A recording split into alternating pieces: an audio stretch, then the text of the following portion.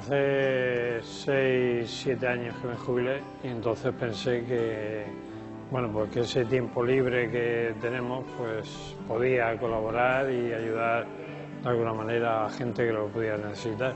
Fernando sigue siendo maestro a pesar de que su vida laboral terminase. Ahora enseña español a jóvenes inmigrantes africanos y su remuneración no es económica. Con cada palabra que sus alumnos aprenden, Fernando llena de contenido su tercera juventud.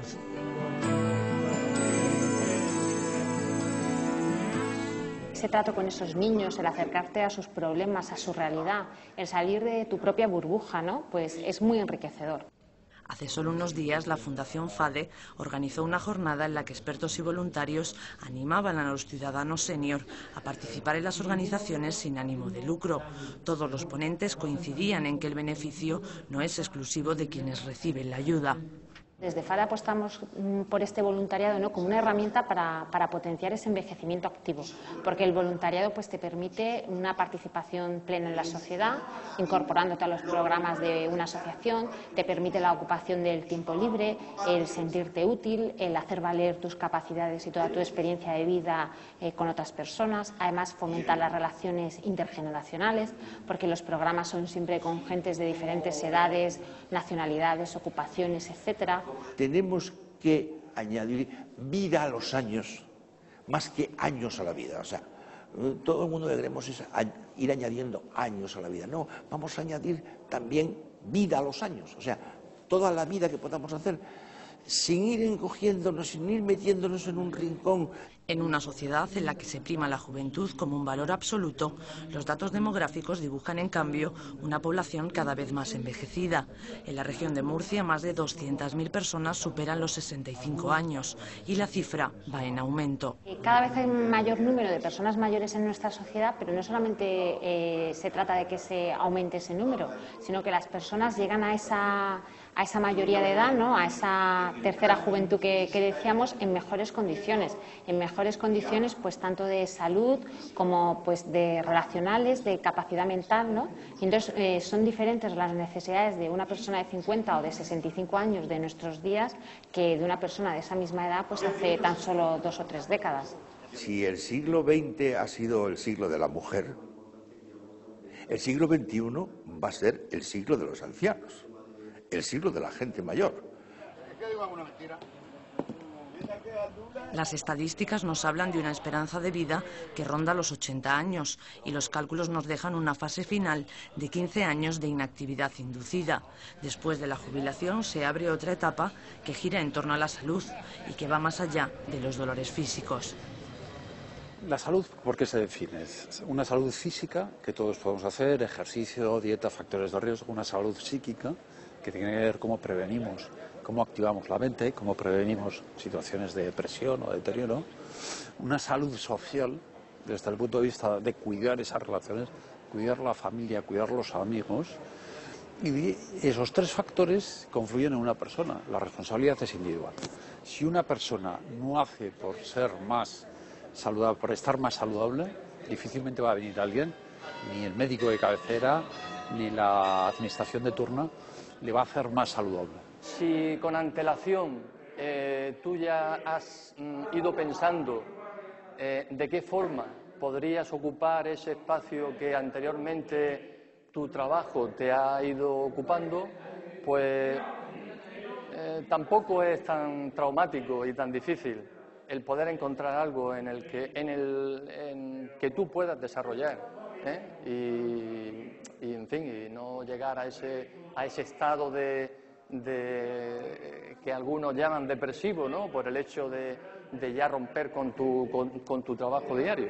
Ahora Pedro acompaña a Fernando en sus clases de español y aprovecha su experiencia de 40 años dedicados a la enseñanza. Frente a ellos, ambos han descubierto una realidad que nunca vieron en sus aulas y de la que ya se sienten partícipes.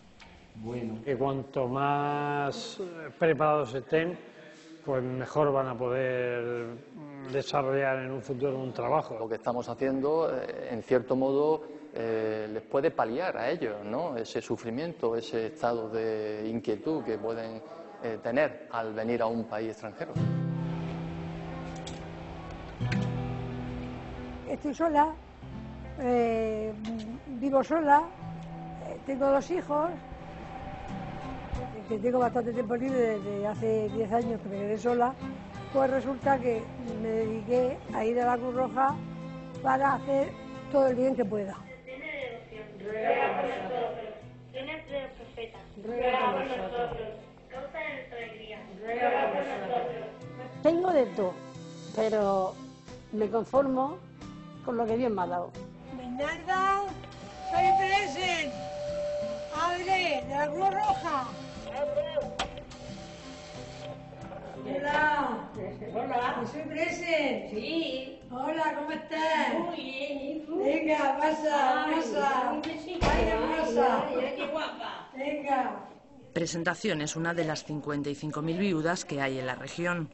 Una vez por semana, Bernarda, con 83 años y ciega, recibe su visita y ambas se alegran el día. Estás muy guapa, ¿eh? ¿Eh? ¿Te has puesto muy guapa? Claro. Vos que me hace mucha compañía. Y se ríe mucho, yo también. Me cuenta muchas cosas.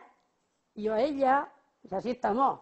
No hablamos, no hablamos de nadie más que nosotras contando cosas. Hablamos de su, de, su vida, de su juventud, de la mía, de, lo que hacía cuando éramos pequeñas, de lo, de, lo que hizo para criar a sus hijas, del trabajo que le costó, de la guerra. Mucho han hablado en los ocho años que han pasado desde que ambas se conocieron y hoy ya una a la otra se consideran parte de su familia.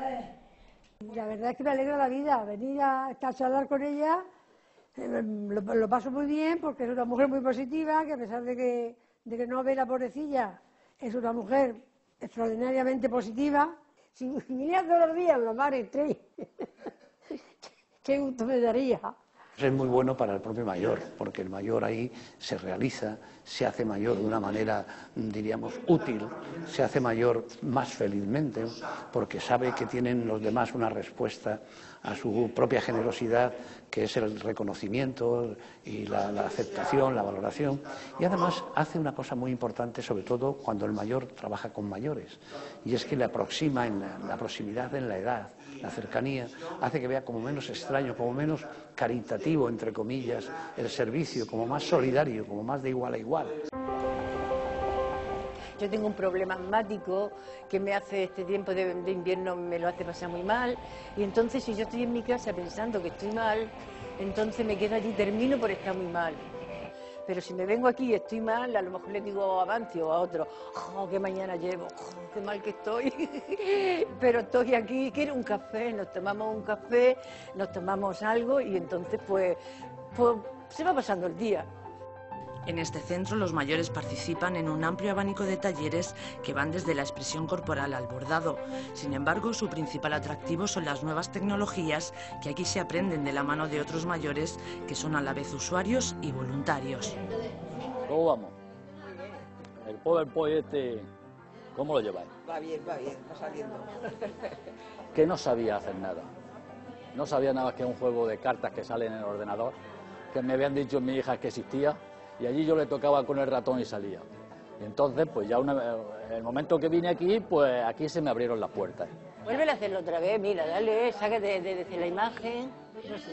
Venga, pues sácatela desde ahí abajo, sí, míralo, sí. Yo siempre he tenido muchas inquietudes por aprender cosas y la verdad es que mm, mi, mi, mi fase más que se puede ver más son los PowerPoint, montar PowerPoint. No, yo he aprendido de la maestra Dolores. Yo no he hecho un curso de informática en ningún sitio, fue aquí donde empecé desde hace seis años ya. Si no pudiera ya dar clases porque era tonta, porque llevo voluntaria desde que se empezó el voluntariado, he pertenecido a la Junta siempre y estoy en ello.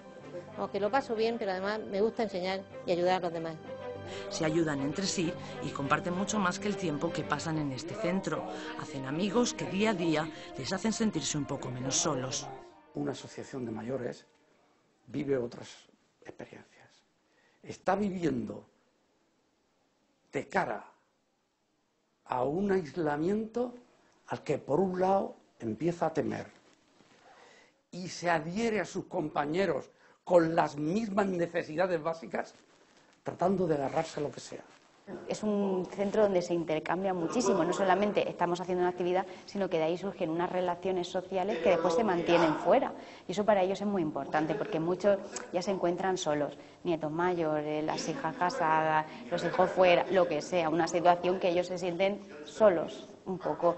Entonces, para ellos esto es como una segunda familia. No solamente el poder hacer una actividad que me está enriqueciendo, me está beneficiando, me encuentro activo, me encuentro muy bien, sino que a su vez estoy conociendo a gente, esas relaciones interpersonales, sociales, estar más allá del centro de una actividad, compartiendo con personas, eso yo pienso que forma parte un poco de la vida de las personas mayores. Hace 25 años que Naciones Unidas eligió este día para recordar la importante labor que realizan los voluntarios. Cada uno de ellos, en cambio, lo celebra cada día.